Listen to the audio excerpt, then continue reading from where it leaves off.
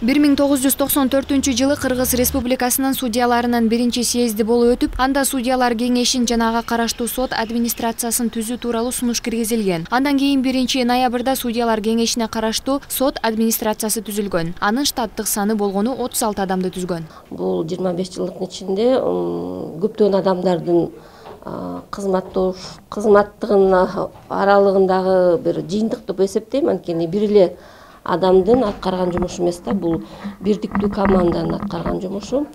Бул сот администрациясы жаңыдан уюшканда юстициядан чыкканбыз ошол кезде жада калса ошо судьялардын отура турган столу стулу жок болчу да. Белгилей кетсек ошол эле учурда туруктуу иштөөчү соттук орган түзүү муктаждыгы бар болчу. Анан албетте сот органдарын уюштуруу кадр маалыматтык жана материалдык техникалык жактан камсыз кылуу дагы көп түйшүктүү иш эле. Исполнение судебных актов это направления разные. Кыргыз республикасынын жергиликтүү сотторунун ишмердүүлүгүн камсыз кылууда сот бийлигинин көмөкчү органы катарында сот департаменти жана анын курамдык бөлүмдөрү республикалык бюджеттен каржыланган бөлүнгөн каражаттардын алкагында сотторду каржылоо аларды материалдык техникалык жактан камсыздоону жүзөгө ашыруу жана маалыматтык камсыздоо мындан тышкары соттук актылардын аткарылышын камсыз кылуу учурда да? департаментте жүргүзүлүп жатат департамент түзүлгөндөн бери жарандардын сот органдары менен өз ара аракеттешүүсү алда канча жеңилдеди алсак өлкө аймагы боюнча жетимиш эки жергиликтүү сот болсо ал жетимиш эки сотто жүз алтымыш бир сот жыйындар залы бар. Учурда ошол сот жыйындар залынын сексен залы аудио видео жабдуу менен жабдууланган жылдын соңуна чейин баардык сот залдарына аталган жабдуулар орнотулат дейт соттук реформанын мониторинги боюнча комиссиянын мүчөсү укук реформасы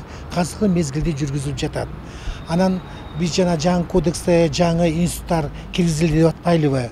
Ошол кодексте жаңы э, жаңылыктар киргизгенден кийин ушул департаментка сот департаментине көп иш жүргүзүш керек.